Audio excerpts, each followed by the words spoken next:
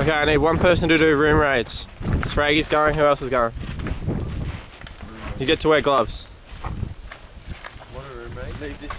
Throwing stink bombs into rooms. Yeah, right, I'll go. Davo? Okay, cool, let's go.